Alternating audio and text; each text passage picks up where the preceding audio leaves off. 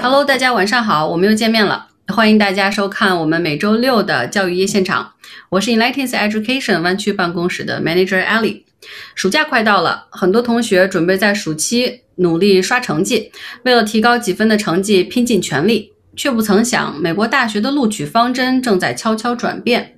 除了成绩以外，美国顶级名校在录取时似乎总有一些不成文，但是隐约又存在的录取口味。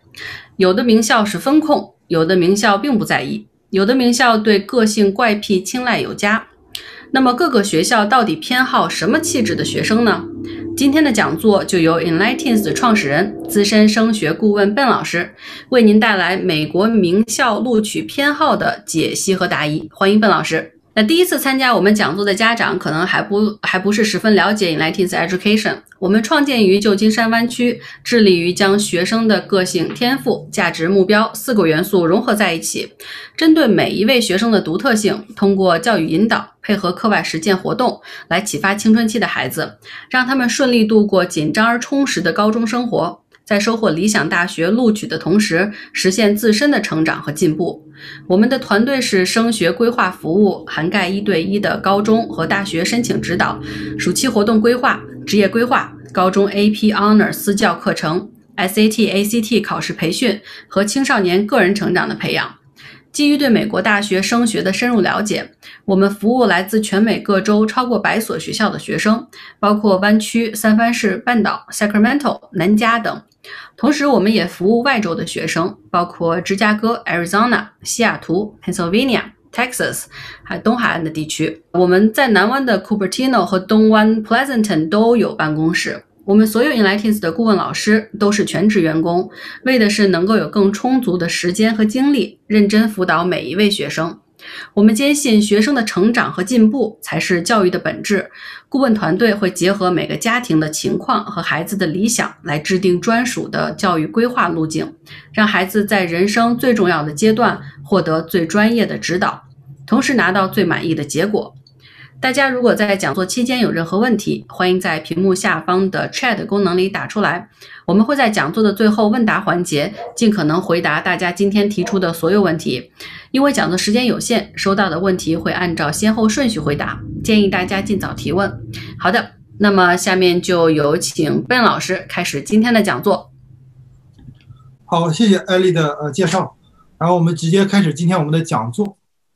呃，今天讲座的话，主要有五个五个方面。第一个呢，是我们讲一下呃家长嗯比较困惑的 holistic review，就是整体评估啊到底是个什么东西。呃，然后呢，因为今年录取结果很多家长感觉很诧异啊。实际上，如果您呃身边有从事这个行业很久的那种独立顾问，或者您了解升学机构，家里边有过老大已经做过这个过程的话，呃，这个今年的没有什么太多的变化，唯一的变化可能 UC 稍微大一些，但是也是意料之中啊。然后呢，第二点我们会讲一下。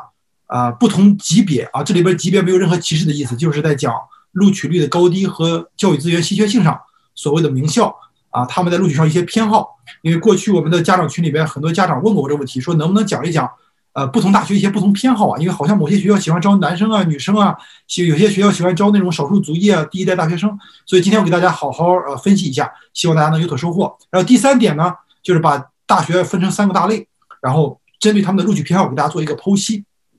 特别是马上进入十一、十二年级的家长和呃和学生啊，我觉得这个讲座对你们帮助可能比较大，让你们能够有目标的呃筛选一些学校，呃有针对的做一些规划。然后最后一点呢，就是家长比较关心的，就是呃如何申请和规划才能最大化自己的录取率。然后我们下面今天呃开始第一部分 holistic review，呃我想问一下家长啊，家长可以打一下一哈，如果您不知道这个，您是不是第一次听说？麻烦您可以在 chat 里边打一下。是否您第一次听过这个词儿？如果是的话，请打一。好的，谢谢家长的反馈。呃，和我预期的差不多，因为我们讲座的话会有一半左右是呃老老的听众，所以这个问题应该是比较简单的。Holistic Review 呢是美国现在所有几乎所有的大学啊，除了个别那种州立系统，他们采用的一种录取招生的模式。简单来讲就是整体评估。呃，如果您是对国内教育比较呃熟悉的，因为个别家长可能是呃国内的听众啊，国内大学现在开始流行这个，就是。呃，模仿美国的 holistic review，我想跟大家说的就是，实际上所有的这个呃大学，不管是高考还是美国的 holistic review，还有英国和澳洲、加拿大这些国家不同的评估体系，它是一定有呃有它的这个优点和缺点的？那我们今天分析一下。那针对这些缺点，因为大家不是从事高等教育的，那我们想要就是了解这些缺点背后啊有什么我们需要考量的点。第一个，它的优点是什么？以人为本。大家很多人呃牺牲了国内优异的生活、安逸的生活，或者是通过自己努力来美国各种方式吧，不管是技术移民还是投资移民还是亲属移民来美国，大家首先看重的几乎都是教育，因为医疗来讲的话，美国并不是最发达的。而教育这块呢，很多家长就会讲是素质教育、全人教育。美国为什么叫 holistic view？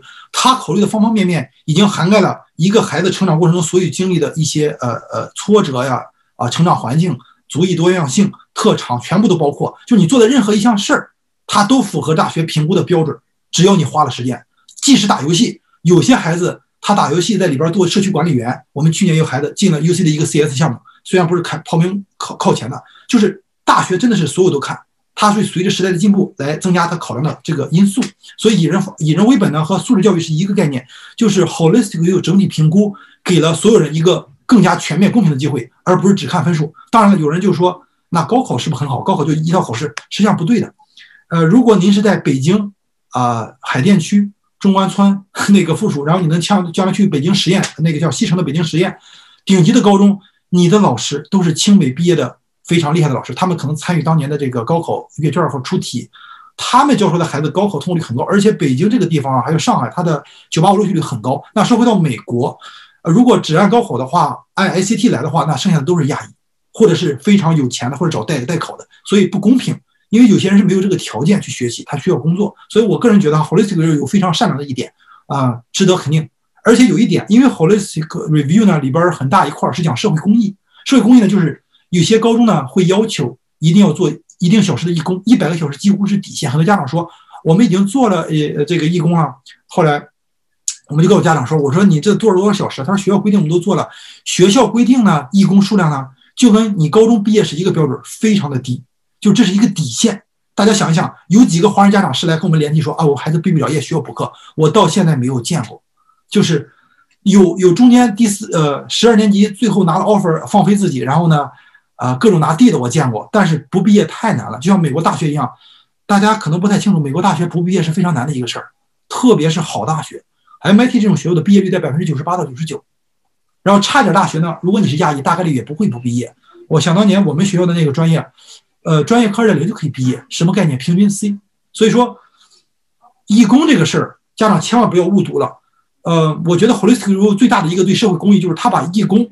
和社会公益做成了大学申请的一个要求，这导致了很多家长和孩子过去可能没有公益的这种投入，因为大学申请这个呃政策导向性，带着孩子去做公益。当然，久而久之呢，有些家长会坚持下来，不光为了申请，会体现到互帮互助这种社会关系的呃优化。大家想一想，美国是个小政府，通过大量的高中生和家长参与的义工，给美国政府减少了多少额外的这种人员的投入？所以大家好想。他所有的高等教育的设计，这个体系一定是造福社会的，所以这点我觉得非常认可哈。不像国内啊，国内的高等教育那就是高考。那我如果今天我帮我的同学补课了，我花点时间给你，那我的分就可能比你低一分，或者我比我的上面那个学生低一分。那国内有句著名的那个口号是来自衡水中学的，就是提高一分干掉千人。国内那种环境就是这样的，就是赢者通吃，一将终成万骨枯嘛。所以美国不是，美国要合作，要协作，他看你方方面面。所以美国这点我我觉得非常认可啊，咱一会儿来讲的问题。然后他的问题在哪儿呢？主观臆断。呃，二零一九年那个著名的 Versi Blue 这个案子，好莱坞的明星啊，呃，中国的这个做疫苗的富豪啊，还有呃一个在南美洲的好像一个一个华华裔富豪，花了很多钱把孩子给通过 PS 呀，通过 SAT 成绩造假呀，通过一些各种各样的手段把孩子送大学，正是打中了美国 Holistic Review 的这个点，就是我有面试对吧？啊，我有文书对吧？我有 SAT 对不对？我还可以申请我是 ADHD。呃，我之前看过一个报道啊，大概在两三年前，呃，是纽约 Time，这个是比较大的媒体了，认可度比较高。它里边提了，在康州、康涅狄格州很多那个有钱的白人家庭，他的那个 ADHD 的确诊率特别高，这是一个非常神奇的现象，因为非常好拿。你找一个 psychiatry，你找一个心理医生，他就给你开方，他认为你孩子是 ADHD，你就可以单独申请一个 proctor。去就像上次那个啊造造造假案例里边提的一样，你单独找个人来给你监考，而那个人，我强烈建议家长去 Netflix 去看一下那个纪录片，就是讲 College Scandal 这个，那个人呢，他一次考试监考能挣五千到一万美元，那个叫 Singer 那个人给他，为什么呢？这个大哥是个哈佛毕业生，他是个 genius，他是个天才，他不知道答案，他就在监考过程中给那孩子现做题，他直接你想考多少分，他给你做多少分，就这这才叫专业的枪手，就是他能够精准到分数。这个人被逮住了，对吧？呃，然后其中这里边访谈里边，我这个人当然是没有出境了。问到另外一个哎呃 test prep expert expert，他说任何一个人做考试规划，他拿到这个点，所以家长要看到啊，咱顺着个线线往回走。美国这个 holistic 最大的毛病，它提供了太多的不确定性。一会儿给大家看一看，总共有二十二个变量和不变量，这些都会影响你的录取结果。所以这个点呢非常的重要。我希望大家今天 take notes 啊，哪些点是可以提升自己，哪些点你是要认命的，和咱没有关系，特别是咱们家也没有关系的啊。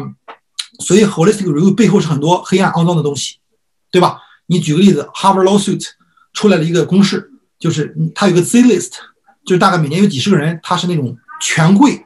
呃，是政要，还有大的 donor 捐款的人，他们有一个特殊的渠道叫 Z list，还有运动员渠道，这里边很多很多的 money。所以说，在一个相对公平的系统背后是很多主，为什么？因为有人参与。高考从这个侧面它相对公平，为什么？高考的那个呃机密程度属于绝密，运输高考的路径啊，包括如果一旦发现题泄露，它一定会全国换卷。所以，因为这是一个公平，这是全社会。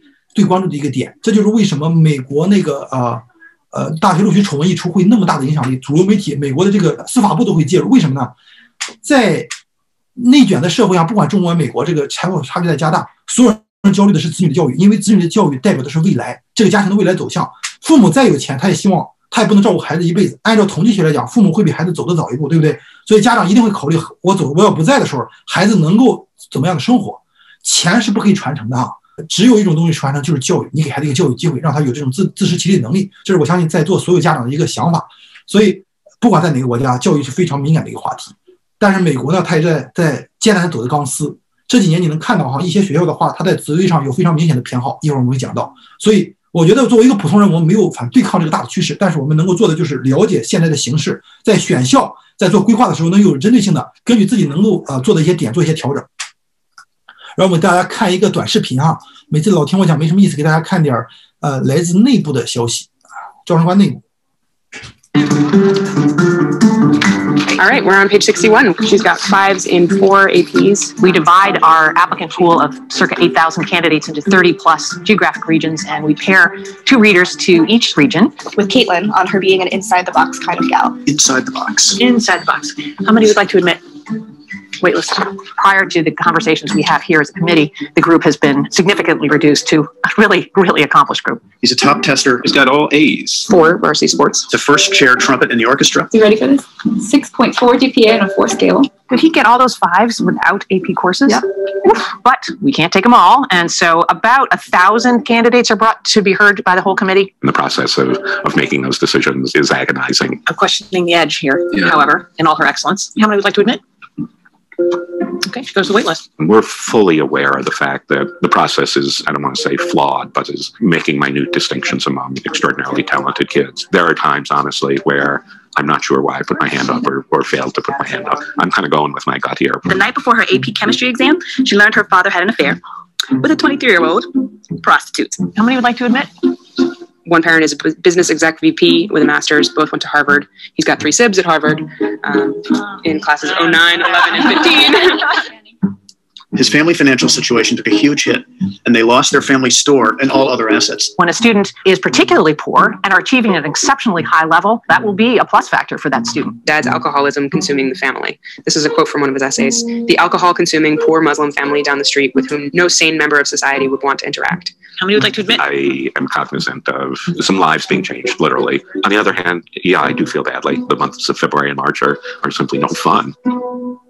好，大家刚才看这个视频呢，就是美国排名曾经第一啊，现在常年稳居第二的 Amherst College，它是一个非常好的文理学院啊，在东北部。嗯，这个我只是给大家看的原因呢，是有的时候我们在讲一些录取点的时候呢，很多家长他第一次接触这个，和第一次接触我们，他会质疑我们的这个权威性，就是我们凭什么？我们又不是招生官。那我给大家看一看招生官他们放出来他们的工作的状态啊、实际上非常简单，他们在评估。他们刚才提了一下，他们大概会能够那些材料拿到桌上讨论，大概有一千份儿，一千份儿就是说他们觉得有戏，会在里边再筛选一下谁在候补呀，谁录取啊，谁给拒掉。呃，这个学校呢，大概本科有一千六百多个人，他每一届大概录录取七百多个人。为什么七百多呢？因为这个学校的呃 yield rate 比较低，就是他发一百个 offer，大概有五六十个人还会去，所以说他会录的名额多一些，然后最终去的大概就五六十个人，一百个 offer 啊，这个原因。所以这个学校给大家看，你想想比例啊，每年他大概录六七百个人每一届，然后呢，他大概会有一千个人进这个最后 final。之前的话会有两个 admission reader，就是两个人会读，会打个分儿，就是有的直接就给秒拒了，那成绩太差呀，或者是呃呃，就是老师推荐信里边写的这个人学习态度、道德有问题，就是很明显。他里边提了很多点，最后的时候大家可能有注意，就他提了，如果这个人他经历非常的悲惨，他家庭负担很重，他的成绩相对还不错的话，他们会优先考虑。大家想象一下啊，在同一个赛道上，咱们大家都都都都都跑向哈佛的道路上，有的人呢坐着父母给的保时捷。有的人骑自行车，有的人背着父母，对吧？或者背着兄弟姐妹，完全不一样，对吧？所以说，呃，大学要 fully aware 这个，我认为这个是非常好的一个事儿。还有一个点我想提一下，就是大家看一下这个新届政府这个交替的时候做了一些调整哈。在上一届政府大选之前，有一个呃事儿，大家可能有注意，耶鲁呢被司法部给给告了，说他们在招生中有歧视。耶鲁大学之前哈佛的话是实际上民间组织告的，司法部没有介入调查，但是在呃。这届政府上任之后呢，过了大概几个月吧，也就前几个月的事儿，然后司法部取消了，drop 了这个这个 suit，就不再告耶鲁了。就这个事儿很有意思哈，呃，咱们不讨论政治立场，但是大家要关注政治风向，就是对大学里边对亚裔的态度，因为亚裔现在在顶级大学里边的人数远远超过他在美国所代表的这个人数。当然这不 make 这不 make sense 啊，因为学习和族裔不要分嘛，因为这不是一个这不是共产主义嘛。但是呢，大家要关注这个政治风向，多多看新闻，多看呃 credible 的媒体。一个原则，您带孩子看的东西呢，一定是花了钱的，效果才好。呃，一般自媒体上的东西呢，要酌情考虑，要 cross referencing。因为我发现这两年花钱的，一般读的就是那个呃 data 各方面都不错。我们进行第二项啊，就是美国大学的录取偏好分析啊。我们今天正题啊，呃，如果是通过微信文章来的家长，您会看到这个表，这个表呢是在每个大学它的官网里边都会有，叫 common data set。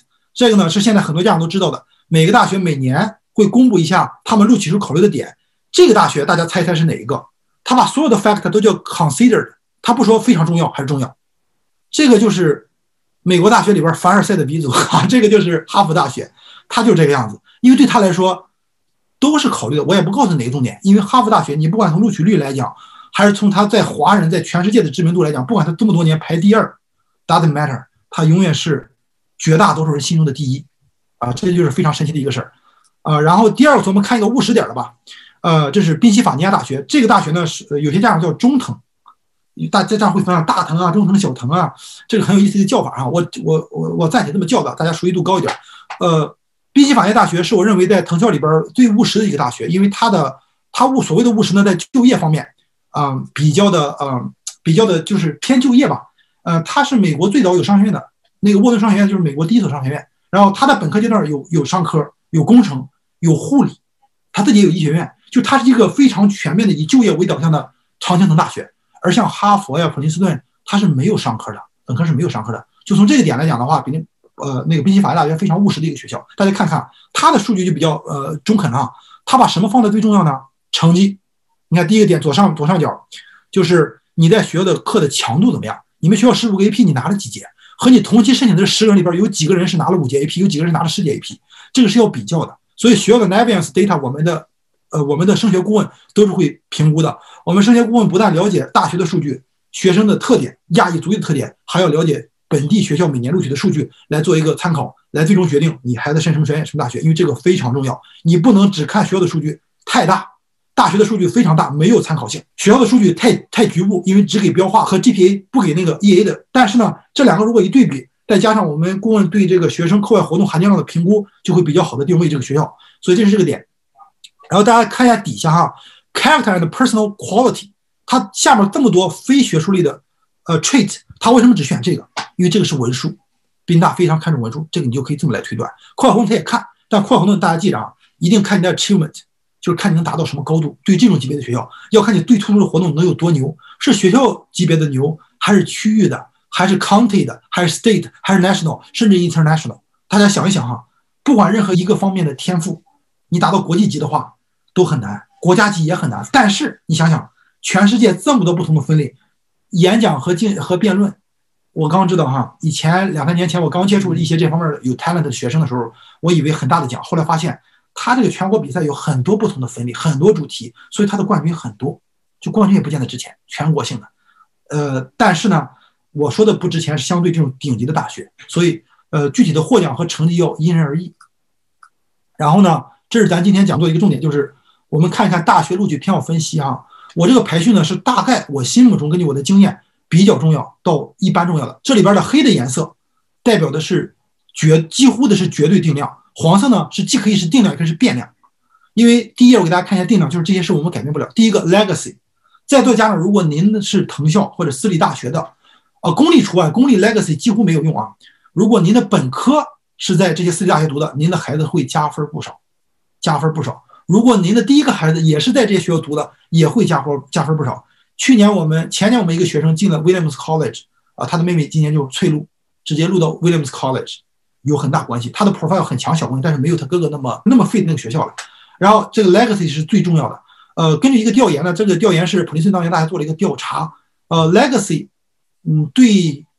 对这个申请人的加分应该是 SAT 一百到一百五十分的一个加分，前提就是说，当然了，这个问题要再讨论会更深入，因为你作为亚裔，你的你是自动减五十分的 SAT 一千六的满分，然后呢，你如果是呃呃非洲裔的美国申请人，你会加两百多分，两三百分，啊，白人大概会加五十到一百，它有这么数据，这个数据虽然已经十几年了，但是一个非常大的数据量采集量，现在依然有这个趋势，而且这种分化在加剧。然后呢，运动员，运动员非常明显啊。运动员呢，这就是为什么我们有的时候不会建议某些孩子申请异地，因为异地是校友 legacy 和运动员申请的渠道。这个很多家长可能不熟这个事儿哈。呃，如果校友子女，他们会被鼓励申请异地，因为异地的话他们弱一点，可以加分混进去，这是一个特殊渠道啊。所以说老家长说啊，异地啊，我们就搞这个异地，你要确定你的 profile 确实够突出。异地里边把校友、把运动员一去，没多少人了，然后剩下的都非常强。你你觉得你在里边能突出的，你还不如 R&D，所以因人而异啊。这边我们没法具体，因为每个孩子 profile 我们要评估，呃，我们没法，只是告诉大家，ED 的话一定要慎重，不要从数据上看，因为那边生源不一样，完全不一样。然后呢，race ethnicity 这俩词我还特意查了一下，不一样。race 呢，种族是你生下来与生俱来的，你的肤色就决定你的特征啊。ethnicity 不是，你可以 claim。举个例子啊，我我是个我三岁移民美国，四岁移民美国，但是。我骨子里我就认为我是美国人，我不认为我是 Chinese，那就是我的 ethnicity，这你管不了我，这个这个就很有意思啊。美国 自由到这个程度了，我也是第一次知道，因为我读研究生的时候，他老师就老问这东西，我说我这俩有什么区别吗？我才知道美国那么特殊啊。然后呢，第一代大学生这个加分特别多哈，因为美国大学现在啊非常注重这个，把第一代大学生啊低收入群体，他们认为他需要帮助，因为美国的社会认为社会稳定的基石建立于。大家相对平等，这是美国的一个教学理念哈。你可以叫它左派，但是呢，它教学理念是这样的。所以，美国如果你是第一大学生，你孩子申请的录取概率会高很多，相对同族裔的来讲。然后，nationality 国际学生，很多学生很多大学非常喜欢国际学生，比如说 U L U C，比如说呃印第安纳州立这些学校非常喜欢国际学生，因为那些地方呢所在的地理位置比较弱，然后呢外州的学生一般不会去那儿读，学费又那么贵，对吧？又是公立的教育，但是国际学生喜欢他们的排名。所以呢，这些学校呢，往往会比较偏向于国际学生。而且我们的经验来讲，别说远的了，在今年我们录取结果里边，我们的香港的学生、我们日本的学生、大陆的学生录取 UC 的话，比本地的容易不要太多，容易非常多。举个例子，我们有个香港的女学生，虽然是美国籍，但她没有在美国待过，呃，上过学，一直在在香港读书，学校一般，成绩也一般，就非常平的一个孩子。但是录到 UC Davis、UC 尔吧，就这个成绩在在在在湾区的话，UC Santa Cruz 都录不上。然后另外一个孩子呢，他是日本籍的，当时我就给那个 list，call list 比较 aggressive，他三点三、三点四的 G P，呃，录到了罗彻斯特大学的计算机 CS 专业，这个不用想啊，湾区的家长我连想都不要想，呃，因为日本籍的话比中国籍的国际学生更占便宜，因为他稀缺，日本籍的话非常稀缺，他其实他妈妈是中国人了，但是呢，他日本籍占这个便宜。当然，这孩子是有特点的，他的活动非常的特别，他会用电脑程序编曲，他编曲很有意思，非常 nerdy 的孩子，但是非常有趣。英语非常一般，但是今年巧了，SAT、ACT 不考，完美的避过了他最大的一个雷。如果他考托福的话，八九十分都考不上。所以我觉得有的时候在机遇面前，有的人是危机，有的人是机会了。然后 religious 呃 affiliation 这个大家不用太担心，除了你像个别的圣母大学呀，像 Pepperdine，还有个别那种宗教呃氛围比较重大学会在乎，其他的一般不在乎。他一般是这样，他选学校的时候呢，他会在乎你是哪个宗教的 affiliation。你举个例子啊。摩门教在美国是比较大的一个呃宗教，但是它很多正统的宗教不认为它是正统的基督教，所以，如果你是一个摩门学校毕业的学校，那有些学校可能在录取的时候就会谨慎一些，这这是有可能的哈。我们接触过一个学生啊，就有过类似的 concern，我们当时研究半天，觉得应该是宗教这块有原因。呃，基督教没事，你像三德克拉尔，我们集体参观的时候呢，圣克拉大学位于呃圣荷西机场附近那个非常漂亮的学校，他们呢，实际上我们在整个沟通的过程和他们学校沟通的过程发现哈，他们尽量淡化学校的那个啊，他们是个 Jesuit University，他们非常淡化自己的宗教关联度，就他们和你讨论的时候和你讲的时候尽量不提。他们校长就是一个牧师嘛，对吧？所以你要从这个学校的这个目前的趋势来看，他对宗教的判断是否大。所以你很多亚裔他可能有宗教信仰，有的没有，有的话基本上是新教那一派。所以呃，这个家长要参考一下，你不能就是像我们当年十几年前申请大学一样，不知道某些大学就敢谁。那个大学发现天主教或者是历史黑人大学，美国有些大学是尽量找黑人的大学，学校的那个呃非裔的比例非常高，因为它叫 Historic Black University。我曾经看过一个网上一个笑话，不是真假啊。有个中介，国内的中介，当然很多年前了，我们那个年代把学生送出去，送到这个学校，所以就比较坑了哈。你肯定文化不 fit 了，他们说的那种俚语啊，包括他们喜欢文化，你可能不答案，所以很有意思。然后呢，gender 这个呢，嗯，我个人觉得，嗯，影响很小了。你像 MIT 啊，它男女比例啊，实际上基本上一半一半。但是呢，家长会说，哎，申请 MIT 的女生本来就少，所以说还是占便宜。但是你想想，学理工的女的本来就少，就是挺难啊。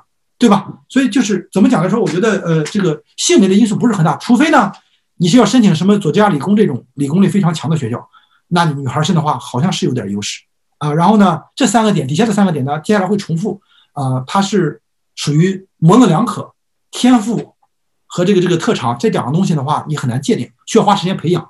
这个呢，因人而异啊，因为短时间培养出来不容易，有些孩子更多的是。他在做这个事儿，家长不知道。你举个例子，有家长我们在沟通很有意思啊。他的孩子没什么特长，但喜欢做生意，我就在讲。举个例子呗，家长就说就是就是就是倒个鞋啊，卖个衣服。啊我一听我说这可以啊，我说为什么不让他做？他说太耽误时间。我说没事儿，他既然喜欢，你们什么资源没有给，就是他自发做的一个东西，那才叫喜欢或者有兴趣。因为这种东西呢是最原生态的，也最能体现孩子创造力。没有人会在一个喜欢但不擅长领域坚持很久，但一个孩子一直在做。我沟通过一些孩子在。在倒卖衣服这块上是专家，他们对品牌啊，对这品牌溢价呀，对怎么去用手机 APP 或者一些程序去抢一些非常呃潮流的衣服和鞋非常有研究。这些就是商学院能学到的东西。所以我觉得天赋和特长要发掘，后期发掘，前期靠靠这个开采，看孩子了。然后高中呢，有的家长会换高中，这个我们接触过，申请私立啊，早期的时候啊，啊，然后底下一个呢是位置，我们曾经去过一个学校访校，他说的很清楚，呃，我们学校现在就差一个歪俄明州了。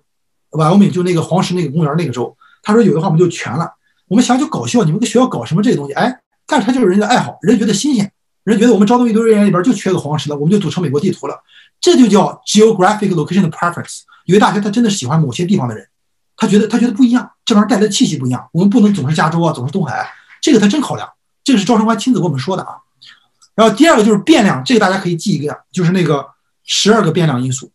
刚才不呃那个定量是十个，这里边有重复，大概有四五个、三四个重复。然后呢，呃，GPA、SAT、CT 这些大家都知道。这个呢，你的年级呃越早，你的变变化可能性越大，因为一张白纸嘛。然后呢，再往下这一溜，推荐信啊，推荐信也是花时间去那个发酵的，因为你和老师的关系虽然只有一年的缘分，但是你不可能临时抱佛脚。如果你准备不充分，你没有给老师提供足够的素材，上课缺乏互动，特别是网课，没有太多的问题和私人的交流的话。那推荐信一般写不好，这也是阻碍亚裔申请顶级学校的一个主要因素啊，就是推荐信。哈佛哈佛那个 lawsuit 反方哈佛用的主要的证据来证明他们没有歧视亚裔，就是用的推荐信。整体的亚裔的分都是比较低。高中啊，这是高中老师给的推荐信，不管是 counselor 任课老师，所以家长要看一下这个点。然后 level interest 这个呢很有意思，虽然我们疫情不能仿效，但是我们认为啊，virtually 你在网上看看也是对的，因为有的时候会有 student tour，他会跟人讲，你一定要去问。最好是去学校看，在他开学期间去感受一下，有熟人的话去做一两天的 tour，那个是最好的。其次呢，你你要沟通一下之前的校友，然后你要做大量的调研。呃，按照标准的话，一个大学一个大学的嗯 research 的时间应该在十个小时左右。当然这个是提前几年做的啊，你不能临时抱佛脚，时间比较赶。呃，你想我们做这行这么久。有些大学，因为它每年都会变化，专业调整啊，领导力的这个领导班子的转化，对这个学校理念的影响啊，这些都会 shape 一个大学的这个这个呃整个的这个状态。所以我建议家长就是说啊，在访学的时候一定要做足功课啊，这块非常重要，因为这块真的是一些在差之毫厘的地方的时候，你你推了一把，你那个 essay 写的不错，写的比较有针对性，因为毕竟你申请十几个大学吧，呃，然后呢，大学也知道你们在拿他当备胎，他只有在那学校对你，你对他是否真的感兴趣上，才能理解你是不是真的想来，这个点还是比较重要的。虽然没有 GPA 和那个 ICT 重要，但是也非常重要。然后 application type，刚才我们提了一点，你是早申呢，还是 ED 呢，还是说那个 rolling 还是 RD 啊？这些都是策略，还是 ED two 啊？这个就是很复杂了。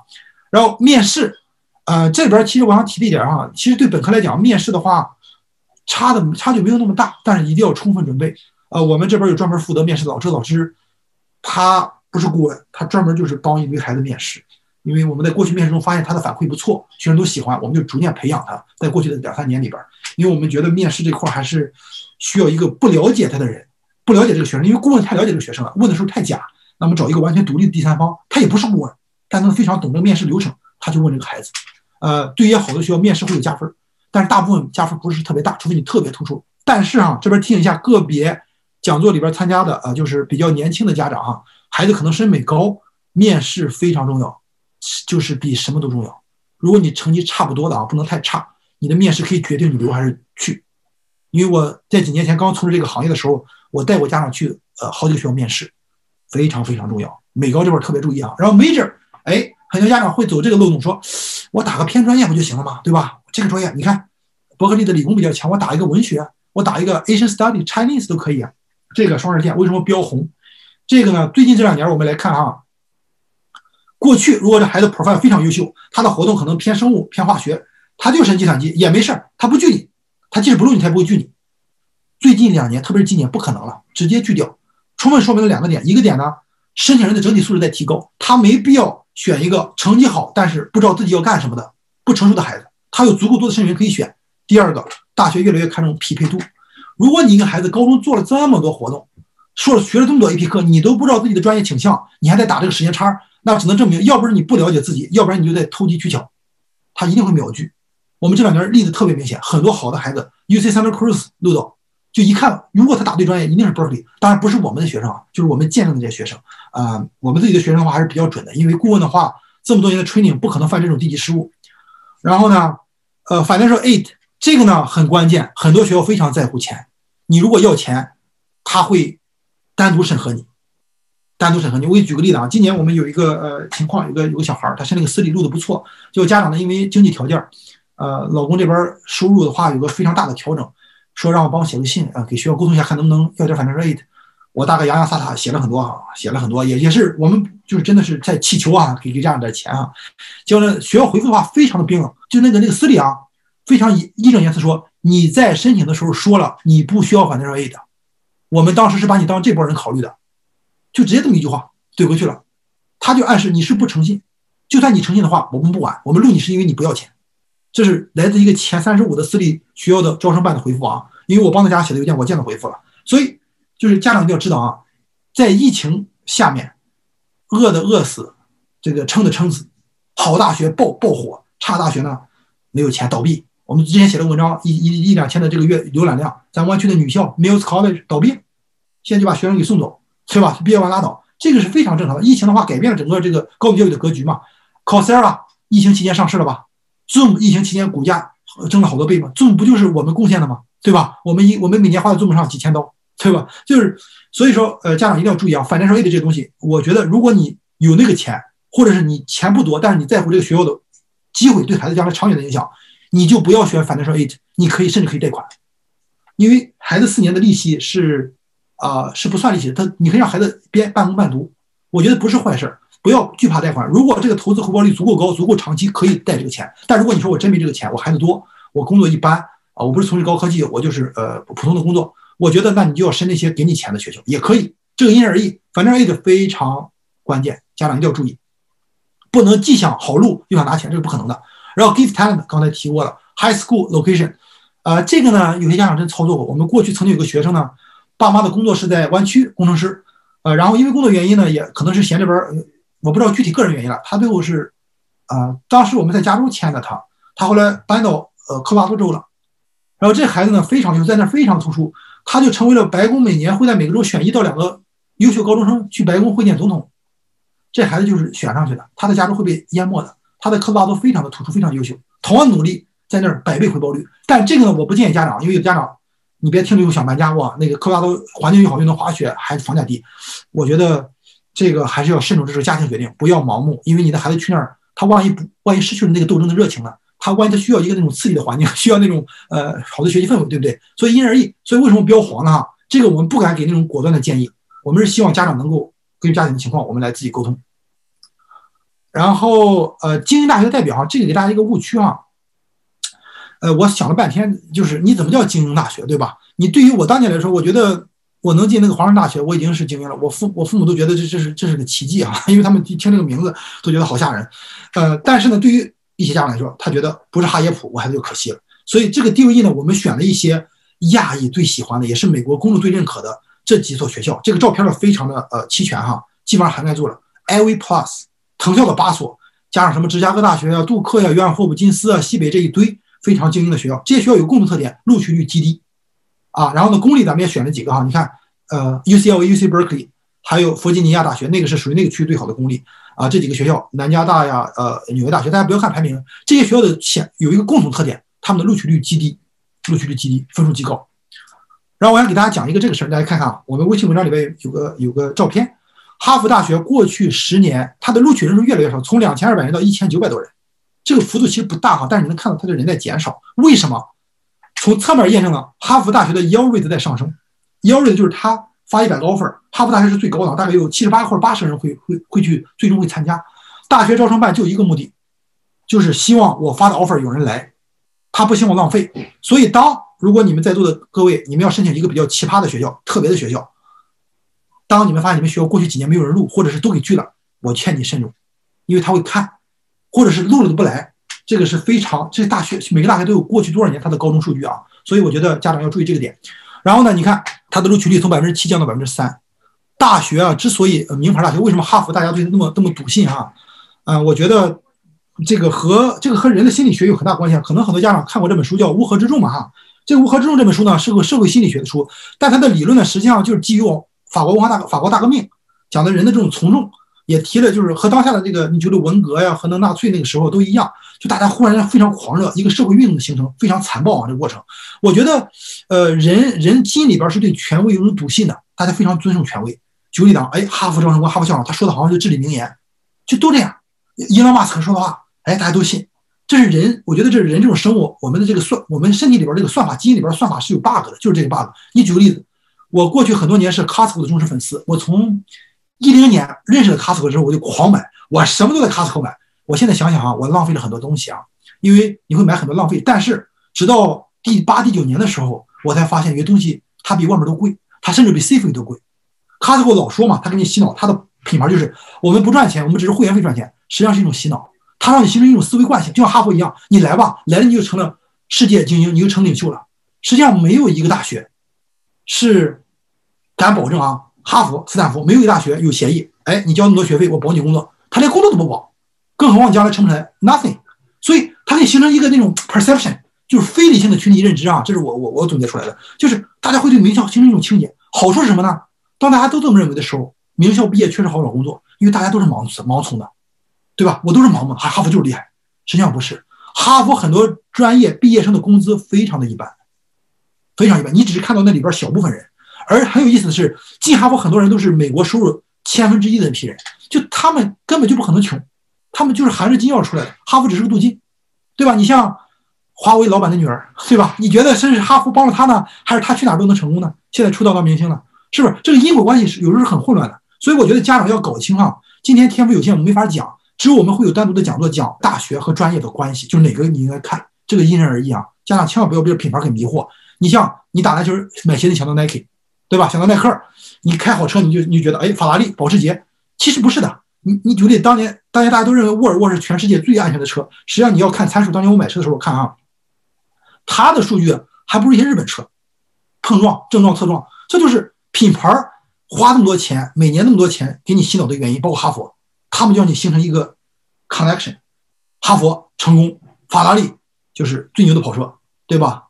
这个这个就就这种感觉，所以家长我觉得一定要保持独立，因为这是我们人类基因基因中的一个 bug。你要非常理性的判断你孩子中长期的目标是什么，你们家庭的教育目标是什么。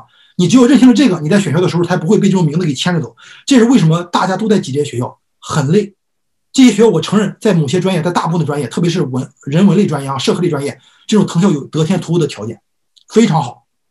这种好其实源自于人类对他的共同认知，而不是认为真正能力的培养。所以有些孩子他有特殊技能的，不见得这学校对他发展最有帮助。所以今天这是我给大家想表达的一个点。然后这个呢，就是你看啊，从八十年代到到最近呃两千一零年前后，这些学校对亚裔亚裔啊，上面那图截掉了啊，这是亚裔的录取数据，大家看啊，有一基本上就是比较趋同，他们过去很离散，现在很趋同。然后大家看看这个啊，我们这几个比较喜欢亚裔的学校啊，加州理工啊、MIT 啊、Stanford、Berkeley，一会儿给大家一点互动的东西啊，咱们搞一个问答，看看家长对这些学校能不能猜得透。大家猜一下这是哪个学校？百分之四十八的学生是亚裔，整个本科啊，而且这个学校其实已经给你线索，这个学校人很少，只有只有九百多个人。家长可以打一下啊，我看一下哪个家长比较厉害，能够猜对，在 chat 里边。好，猜对了一个两个，哇，家长好专业啊，五个六个七，好，可以了可以了。加州理工，哇，今天的家长超专业，我都懵了，可以可以，呃，感谢家长，非常专业。呃，就是加州理工这个学校，我在五六年前我刚从事这个行业的时候，我带了一帮孩子。湾区几十高中生，我去在另外一个公司啊，我去参观过，非常喜欢。我也去过 MIT，我更喜欢这个高中，因为这个高中呢，有一种有种家社区的感觉，非常小。你像本科九百多个人，就是很舒服。然后那个社区就是给我们介绍的是一个白人女孩，一个印度孩子，这俩人就是让你觉得没有一点那种 nerdy 的气息，还有学霸的气息。但这个学校是最难录的啊。我们过去有有有家长是那边校友，呃，也没录上孩子，就是。这个学校是是不看什么 legacy，什么运动员，他什么都不看，他就看你的硬指标。这个学校是培养科学家的，你对科学非常有兴趣，非常非常感兴趣。他是给科学领域、理论科学领域提供最优质的人才。但这学校真的是非常漂亮，在帕萨蒂纳非常好的一个区哈。喜欢科学类的一定要去考虑这个学校。呃，这个大家看一看，这是哪个学校？大家可以打在打在那个 chat 里边，它里边有百分之五十三的学生。选择了 undeclared major 就不选专业，家长看能猜出来吗？哇，家长也是很专业啊！我觉得很多做这个的独立顾问都没那么厉害。正确答案是 Stanford，这学校 Stanford 很神奇吧？我们过去有个学生还真是这么近的，但是千万家长不要模仿啊！家长不要认为 就是那我也答 undeclared，还不是的。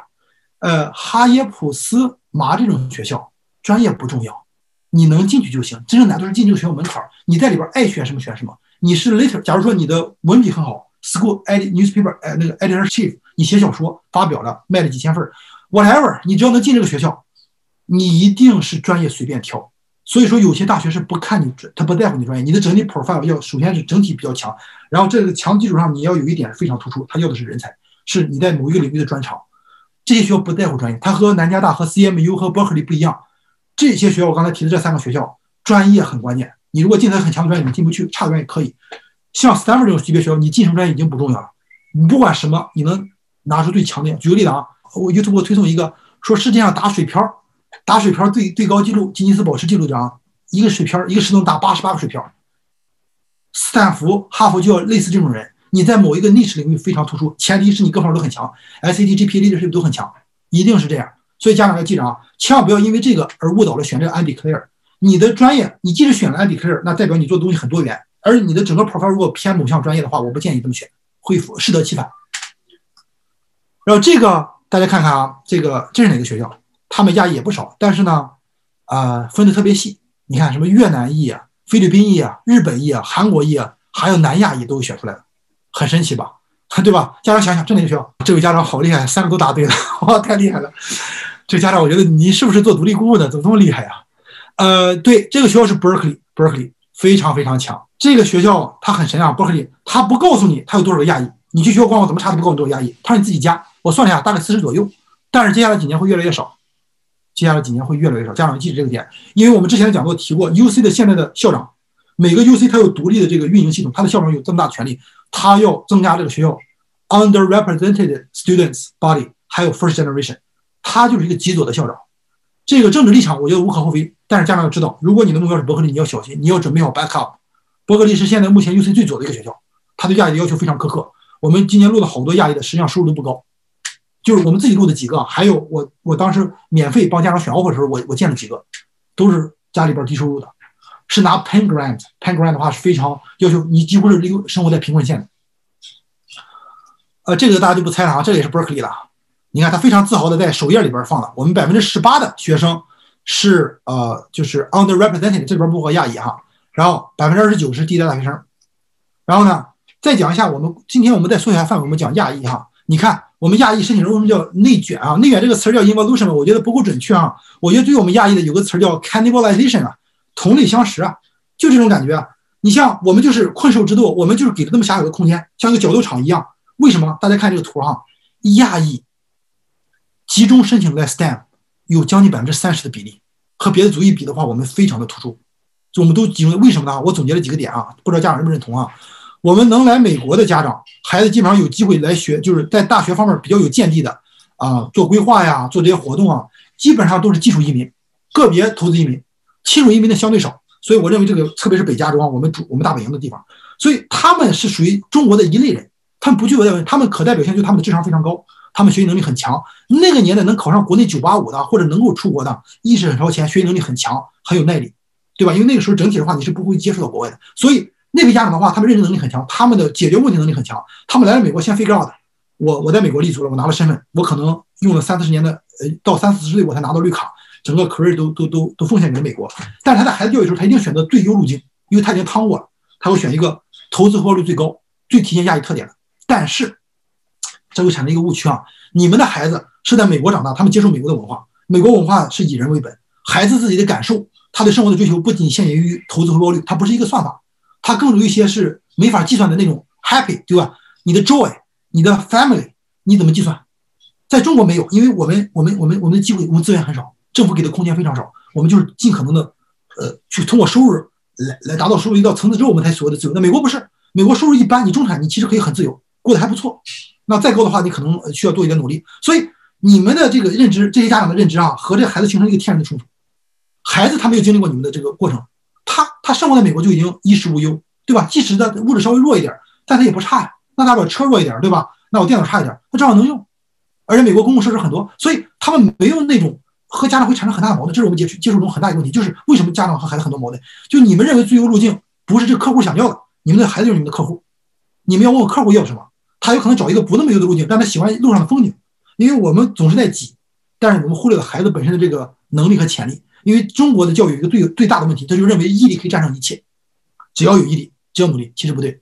当然，美国教育有一个问题啊，美国教育各种找借口啊，什么都是找借口，你你这个身体不好，你足艺不好，出身不好。啊，你的这个这个这个什么什么各种 distraction，我觉得两边一定要中和一下啊。所谓中庸之道，不就是结合吗？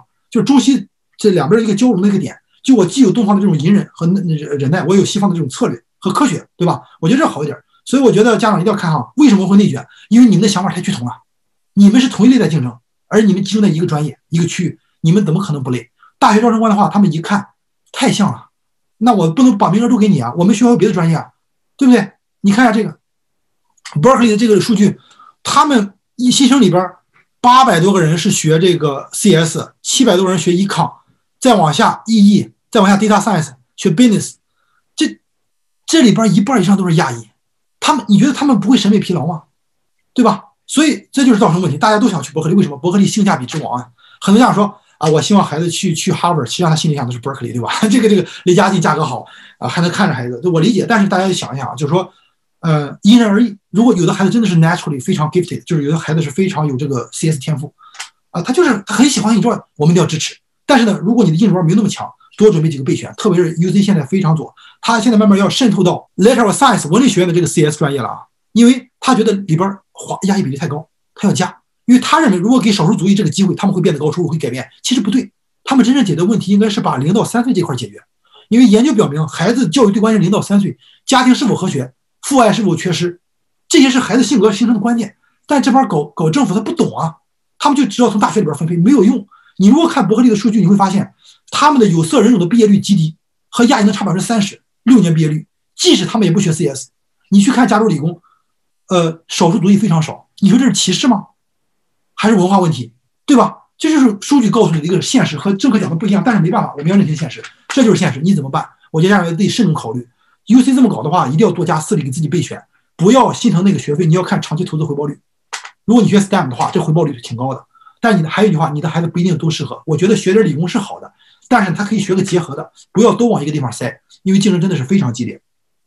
因为你仔细想想，你们太像了，你们可能都是清华、复旦、交大、浙大、科大、华中这些这些校友，对不对？就是我接触家长长了，我对国内大学了解的比国内都多，就是很有意思，因为你们太像了。然后呢，大家看一下这个公立、私立、文理的这个录取偏好分析啊，呃，很多家长可能第一次来哈，我简单给大家花一分钟讲一讲啊，这是一个非常简单的一个图啊，可以让你马上了解美国大学。Ivy Plus 最精英的十五所，录取率最低的十五所哈，里边的哈耶普斯其中最难，其实原来只有哈耶普没有斯坦福，这两年加上去的。还有藤校，然后 Ivy Plus 刚才提了二所，前三十、前五十，这是家长常用的一个一个一个标准吧。然后前一百，前一百除了 Ivy Plus 就剩的是八十五所，然后文理学院。有二百二十三所，你基本上就看前四十到五十就可以了。文理学院比较 tricky 啊，文理学院这个录取率和排名不太成比例，就很有意思。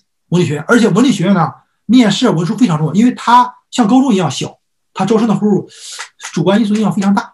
文理学院适合家里边条件不错，孩子将来想做科研，想考医学院、法学院这种呃呃 professional education 的，因为这文理学院最强的就是本科教育。他们文理学院有个特点啊，还有私立，他们的四五年毕业率极高。STEM 专业啊，因为他们的学术资源好，教的比较细，而伯克利大课几百个人学个 CS，不是全靠自学嘛，对吧？然后这个不同类型大学批号，我里边分了一些简单的分类哈，篇幅有限，大家看一看，就是主要集中在这些不同类别学校，左从左上往下面，啊，哈耶普斯是一类的，麻省理工和加州理工属于一类的，他们都不一样，Ivy Plus 也不一样，就是这里边其实代表他们的录取率，他们我我之所以这么分类啊，他们录取率比较趋同，这样下的话比较好判断。然后佐治亚理工呢，家长比较喜欢上，还有密歇根大学、外州的这些，就是很简单的分类嘛，文理学院。啊，然后目标不同，你付出的也不一样。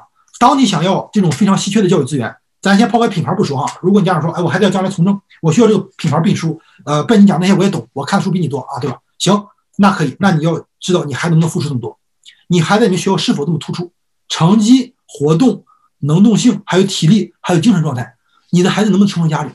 如果他不喜欢这个事儿，是在 push 他，或者是他想做的和你要求他做的完全是反的，他每天活得很累很拧巴，而且疫情期间天天对着电脑，你觉得他看着别的族裔的孩子那么 happy，天天在外玩，你天天压抑他，他会高兴吗？对吧？所以我觉得我们接触孩子哈，能进的大成啊，家里边关系非常和谐，父母就像一个教练一样，只提供建议，孩子自己去发挥场上，非常好的，非常 encouraging，而且父母孩子沟通像大人一样，孩子非常成熟，这不排除孩子本身天赋很高，因为智商真的是不一样。但是呢，能进美国好大学，智商高没有用，它只代表 ACT，别的话都可以通过别的地方来弥补。呃，leadership 要很高的情商，对吧？和老师的关系非常高的情商。呃，你对这个形势的判断，对资源的掌握，这个叫社商，这是另外一个说法，就是 social intelligence。然后如何申请才能最大化录取率？从上往下漏，GP 符合要求的特别特别多。哪个学校？美国三万多个高中，哪个学校没有几个全点四点零的，对不对？然后呢，ACT 哎。ICT 在短时间内，甚至未来几十年不会取消的一个根本原因，来对冲 GPA 的 inflation。现在我们物价高，对吧？房价高，GPA 一样。学校为了录取，他都会给些 EZA，大部分学校会这样，所以它会造成水分比较大。标化考试，全国统一的考试有很很很大作用，可以减少这里边的水分。这个筛完之后呢，基本上你是可以进前五十了。然后课外活动，你就得看你做的深度和中间的关联性。能能能呈现的是什么样的人？你是什么样的主题？然后呢，个性就是你的 essay，还有你整个这个活动的设计的选择，能体现你是什么样的主题。给大家看一下直观的啊，因为之前我也用吃的啊，家长就说这个有点有点烦了，特别男家长啊，这这个 不太不太理解。我换一换，呃，我觉得申请材料，我们讲的申请材料不光是文书啊，你的整个四年的简历、你的成绩啊、你的 resume 啊、你的活动经历、你的排序、你的推荐信、你的文书，所有东西。大概几页纸呈现你。刚才咱看视频里边那里边，呃，它实际上是一个画像。他们在读的过程，他们在脑子里边画像，你是什么样的人？Kevin，你是什么样的人，对吧？呃，Team，你是什么样的人？呃，这个要强调设计规划，就是一个设计的过程。你在建一套房子，你是一个工程师，你是一个建筑师，你要开始构造，你要考虑局部和整体的协调，你要考虑采光，你要考虑走水走电，这些反映到高中规划，你的 GPA 的时间管理，对吧？还有你的预算，家里边多少钱，我能给你付送那些补习班，我是给你付一对一呢，还是复课？这都不一样。还有我的孩子，哎呀，第一次考考的 PSAT 考的比较低，怎么办？赶紧找专家评估一下，他适合考 ACT 还是 ACT，还是我们就放弃，只是那种 test optional？因为我们家孩子有考试焦虑，test anxiety，或者我 S ADHD，每个家庭都不一样。教育是个非常个性化的东西，这也就为什么啊，很多人都认为自己是教育专家。我告诉你，没有专家，每个孩子不一样。我们做的只是提供一点见解，给家长更多的选择。因为教育非常非常个性化，和财务规划和报税都不一样，因为每个孩子还真很神，就是他会有一个独立的天赋，不一样。这个需要大量的这个机会去刺激、去去激发家长啊和和外界的这个观察。呃，一一体化的话只会压抑这个人才，而且这个人会变，他的财务不一样，和税法不一样，他不变，人会变，不同阶段会变化，很神奇。呃，然后局部和整体自然和谐，给大家看几个照片啊。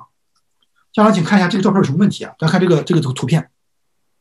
当招生官看到一份材料的时候，这就是一个家长参与过多的这个这呃申请材料，颜色很乱，你看又紫又黄，然后呢，这种家具没有协调性，那餐桌是一类，这个这个那个橱柜又是一类，然后呢，电视还有这个藤椅，你你看到这个大杂烩，我今天听这个说啊，好像这个 AMC 可以考，我今天明天说做那个义工，后天我又去那 Cosmo，就是很乱。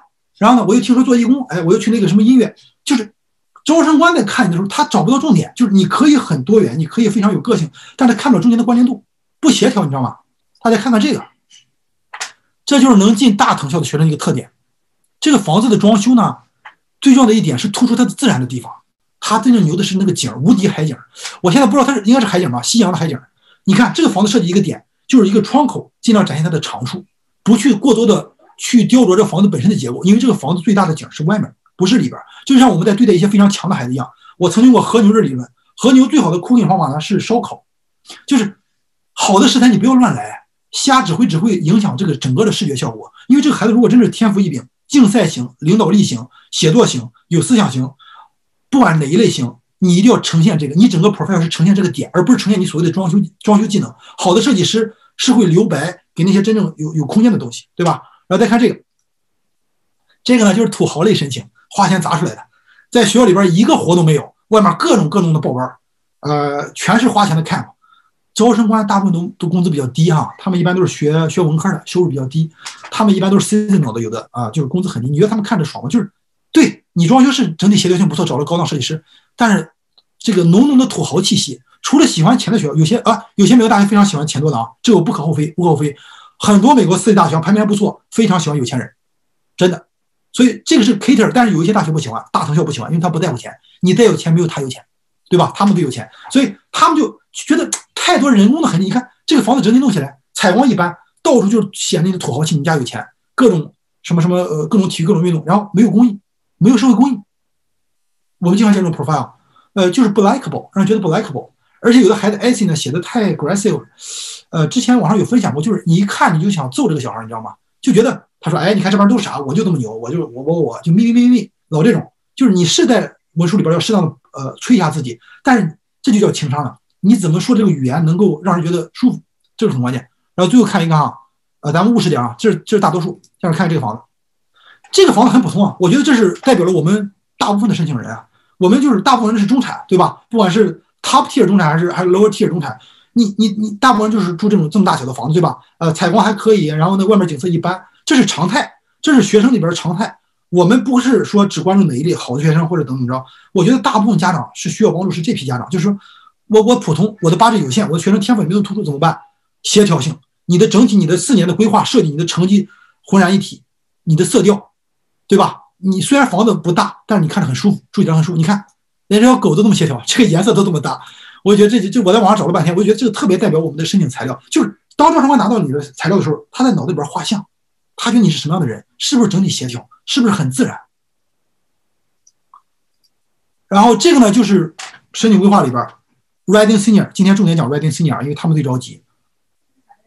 呃，绿色就是说可变的，你 senior 就这么几个点可以调整啊，做一些进，可以做一些呃加分啊，做一些努力。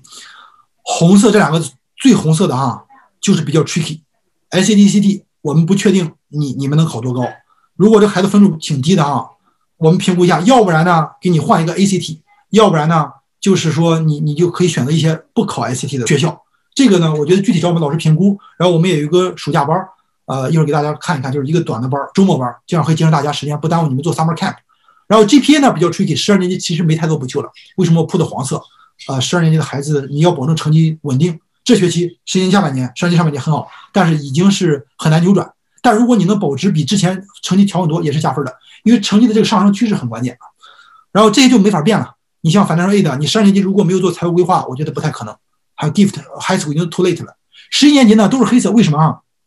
这个家长因为时间真的有限，家长可以具体咨询艾丽老师。十一年级的不上不下，因为目标如果不是前二十、前十的家呃学生和家长呢，十一年级其实可操作空间很大。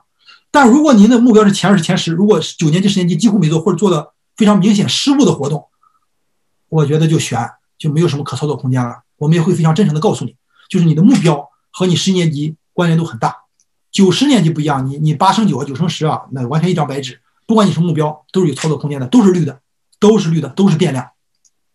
然后最后呢，这个呃，这个家长可以去我们的官网 enlightened.com 去截这个呃嗯呃这个图高清图。这个呢，就是我刚才讲的所有的一个总结。这个盘子呢，以前我经常各种各种场合里边拿出来讲，我们别的顾问也讲，家长可以拿它当一个罗盘啊，就像指南针一样。这就更像指标，颜色越绿，呃，升学越重要，越红和你越没关系，你操纵不了。黄色属于中间。这个呢，给你形成一个意识，你在给孩子安排活动的时候，不管你有没有顾问，你会有意识的去强调这些点，应该把精力怎么去分配，因为这是一个变动态的过程，孩子的状态啊，你的时间、你的 budget、你的时间接送孩子都要考虑，对吧？嗯，然后最后给大家总结一点，因为我我讲座有个特点啊，会信息量比较大，然后语速也比较快，呃，因为我总想是大家时间也是有限嘛，所以我就给大家一些简单的这这这几句话，希望大家可以呃共勉啊，因为我个人的一些分享也也也称不上什么经验之谈。呃，知己知彼，扬长避短。不管你是升学还是任何人生任何阶段，我觉得这个是比较好的一个策略的总结。然后审时度势，关注新闻，让孩子一定养成看新闻的习惯，左派右派都看，了解一下政治趋势，你就知道这对你的选校是有帮助的，对你孩子职业的选择也有帮助。一定要花钱买付费的媒体，或者去本地图书馆去借，都是免费的。图书馆有很多免费的杂志可以借，都可以养成阅读习惯，让他们隔离电脑，家长和他一块读啊，对吧？你大不了看中文的嘛。然后这样的话，会会让你们能够和我们一样。保持信息的通畅，了解最新美国大学招生办，还有它这个政府政策和政治风向非常关键。这对我们对孩子安排 school list 和选专业有非常明显的帮助。虽然是宏观的，但是非常有呃呃指导意义。呃，最后给大家讲一下我们这个呃马上要举办的这个 summer boot camp。我们为了不和大家的 summer 活动相对呃相相冲突，我们设计了一个周末班。然后呢，两位老师呢都是十十年以上的经验，都是美国长大的 A B C。啊，他们教课经验非常丰富，而且会让孩子觉得不枯燥，因为毕竟很多孩子不愿意上课，放假了嘛，他觉得想玩儿啊。这两个孩子在美国长大，他们完全了解，呃，亚裔孩子在家庭中这种，嗯，和父母的这种关系，他们讲课还是很好玩儿。然后呢，是周末班，家长可以报一半一半，A C D 和 ICT，适合早期的哈，因为你可能不了解，我觉得提前测一测，看看在什么程度。如果有兴趣的家长可以扫这边二维码联系我们的 Lindsay 老师，呃，然后他的话会给你具体的回答。然后呢，我们讲座会在每个主每个周有个主题，会比趣味性、互动性比较强。因为我们之前冬天举办过一期，呃，人数还是比挺多的，呃，家长反馈也不错，所以我们是希望，嗯，增加互动性。因为网课还是挺纠结的，我们是希望把你们请到我们办公室。但是疫情看目前的话，应该是八月份以后可能摘口罩，七月四号不清楚。我们边走边看。如果真的是完全没有疫情了，我们也不排除开开线下。但是目前呢，我们是打算线上，因为目前的趋势的话，暑假结束之前应该不会完全正常。我们也是考虑健康的考虑。我们的老师基本上都已经打完疫苗了。嗯，好的，呃，非常感谢卞老师今天干货满满的分享。那我们的讲座就到这里了。如果大家呃还需要有更多的咨询，或者是报名我们暑期的 SAT、ACT 呃课程，那可以联系我或者是 Lindsay 老师。如果有家长想要加入到我们的微信家长群当中呢，也欢迎您扫描这个我屏幕上的二维码，我来邀请您进入到群当中。呃，或者是有家长需要咨询我们其他服务的，那欢迎致电或者是 email 也可以。今天的讲座就到这里了，非常感谢大家的参加，那我们下周六晚八点不见不散。